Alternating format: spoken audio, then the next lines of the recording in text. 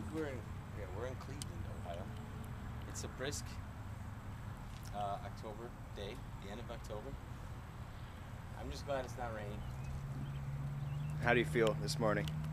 Just glad we didn't stay at the uh, Howard Johnson across town. Why is that? It looked like the kind of place that uh,